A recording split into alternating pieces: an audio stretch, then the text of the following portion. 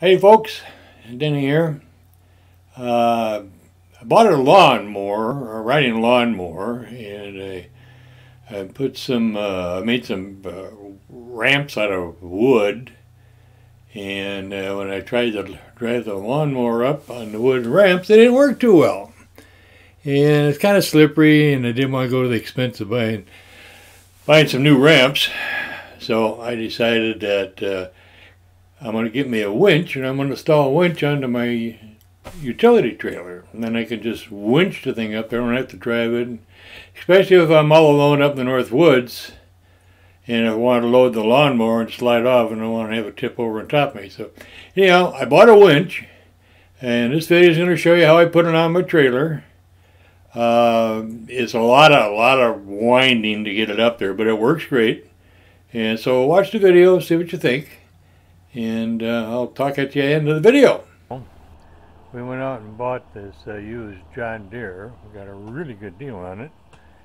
Uh, but I made these ramps here to put it up on and uh, I didn't really like the way it slid off. It was a little bit loose and slippery and sliding it on. Matter to get it on where we bought it at, we pushed it on rather than drove it on and those wood ramps like that they're a little slippery. I could put some sand on them or I could buy uh, another type of ramp but I don't want to go to a big expense for the few times I'm going to do this. So I've come up uh, with another idea and I'm going to put that on right now. I bought a winch and I'll show you what that looks like Today I'm going to put a winch on my trailer so I don't have to drive the lawnmower up and down. They're kind of slippery. So this is what I got. The worm gear hand wrench. Bought it from uh, Harbor Freight.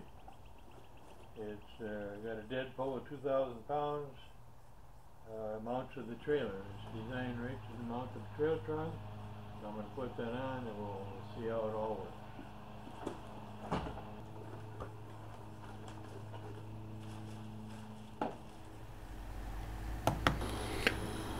Alright, we're going to unpack this. That's the uh, cable harness right there. Handle. And here comes the main body you know, the, the, of the uh, winch. This is a worm type, so the handle will come out the top and it uh, spins on a worm gear that uh, brings the cable in. Pretty simple, well built. Okay, this is the U clamp.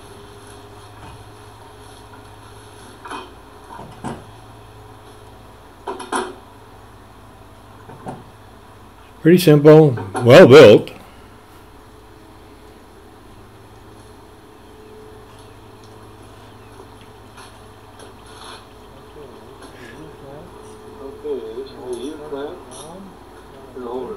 down. This will open the back end, this all goes on the top. Down. The handle, and we got the cable. So we're gonna go ahead and install this thing right now. And, uh, Give it a whirl, see how it works. Okay, what I'm doing here, this is a foldable trailer, so this uh, little wing nut here is uh, a threaded stud that comes out of the tongue. You can take that off so you can lower the, uh, the tongue when you have it folded up.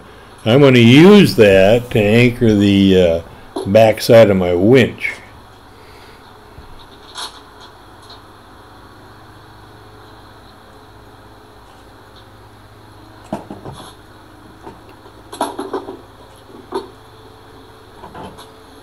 One of the problems I didn't foresee here is that them angle uh, braces that come up to the tongue, they go on top of the actual tongue. So the back of the winch is uh, about an eighth of an inch higher than what the front of the winch will be. So here in a minute I'll show you how I solve that problem.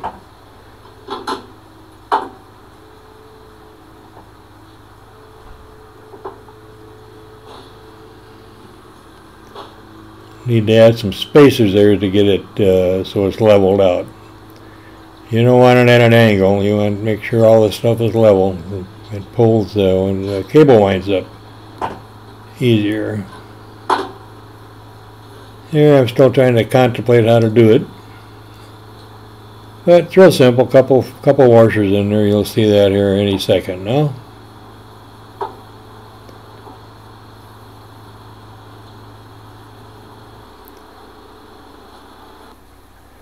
Okay, you can see the washers on the tongue there. I'll be pointing at them in a minute here. Those are the washers I put in. I think I like four washers put in there.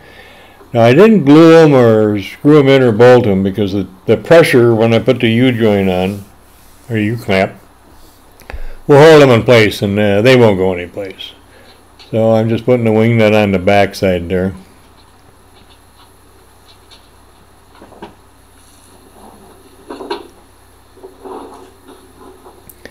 And then here comes the uh, U-clamp. And you got a spacer that fits on the bottom, or, or a bracket that fits on the bottom so it holds it in place. And it just screws on there.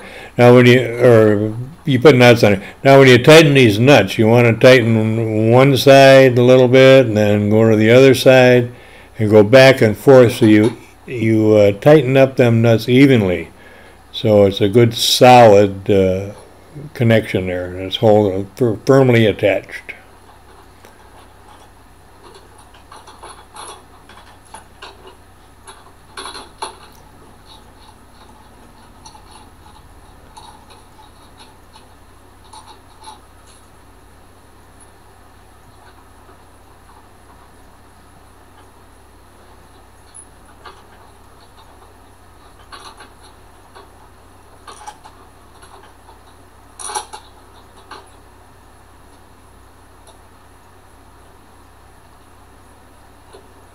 You just uh, hand tighten them first, then get a couple of uh, box wrenches and just tighten them all up so they're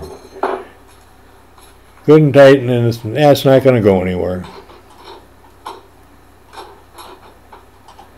Now, if you don't have that stud uh, on your tongue like I did there, that threaded stud, you could always drill a hole there.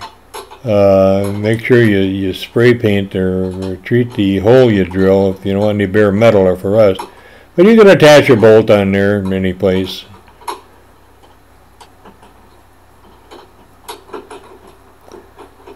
Okay.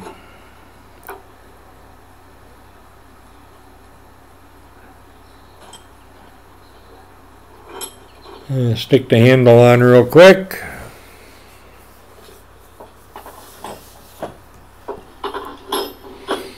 I had to make sure I had clearance because since this is a handle that it's a worm gear. The handle will rotate. You want to make sure I had room for the handle. It didn't hit the front part of the trailer there. Still a little close, but uh, works fine.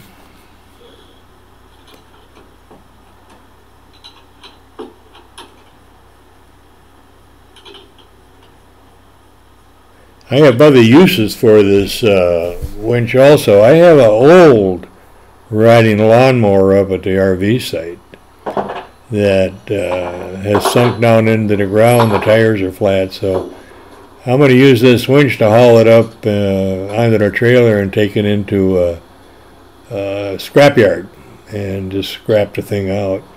Here you can see we got to hook the cable up. There's a little bracket you attach to it. And you're supposed to loop it and uh, and then tighten it up. But that cable is so stiff. I wind up and I eventually I just put one end into it and tighten it up. I mean, it's not going to go anywhere because I'll never have. Well, I don't plan on it, you know. But you can see how stiff it is. It's really hard to get it in there. Uh, but it won't fall off. So just I just attached one end, and that that, that works fine. Just want to hold it in place.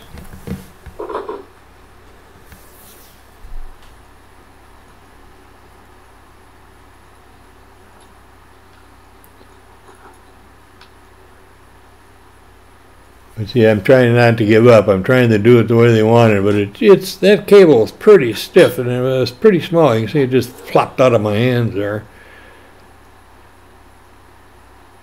So I decided just hooking one end in there and tightening the down good. That's that'll be sufficient.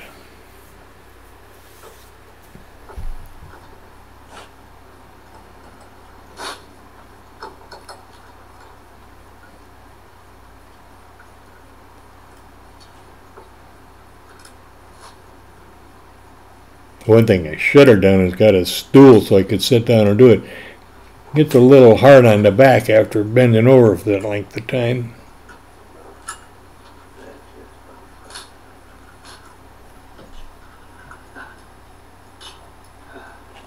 Well, that's where I gave up and decided, nah, just one end's going in.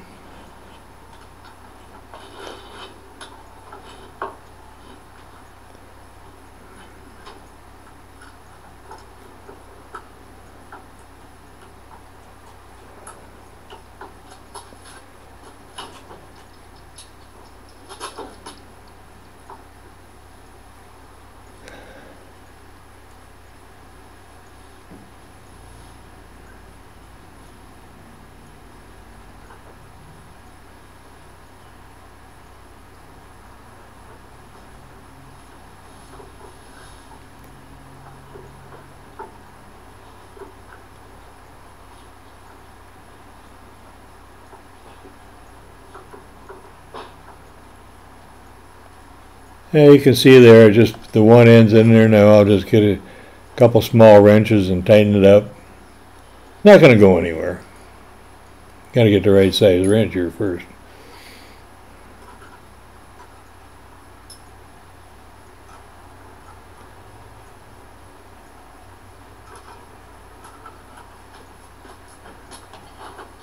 Alright.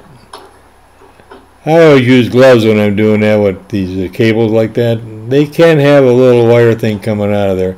You can see it's pretty close quarters there when I'm trying to get it in. But uh, once you get it, uh, get it tightened, it took quite a bit of winding. But here we go. We're starting to load up the trailer or the lawnmower. Hard? Hard? Yeah, yeah. The front wheel's on there.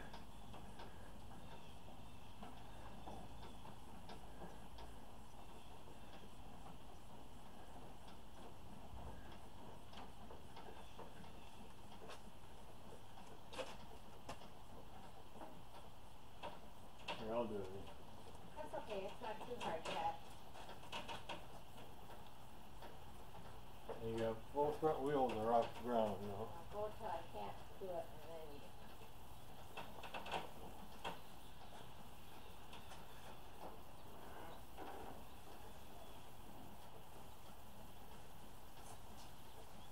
Why does it take so little at a time?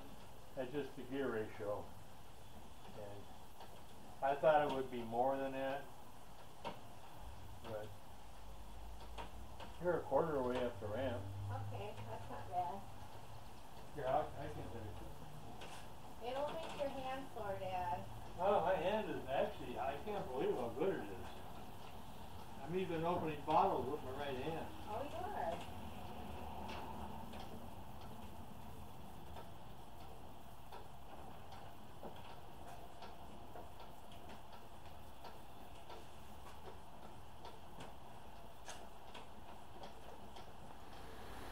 That's my daughter talking in the back there. She's uh, always helping me out.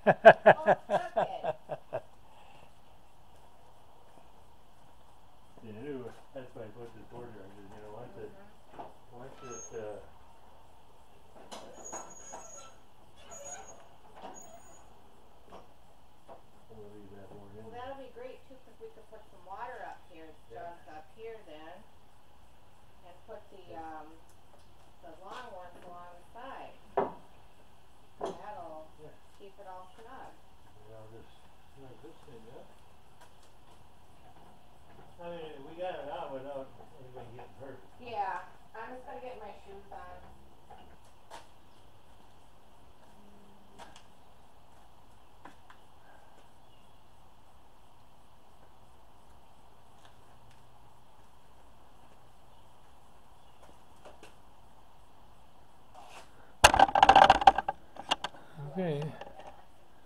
It's a lot of twisting and turning, but it made it. It don't go very far every time you crank that stuff.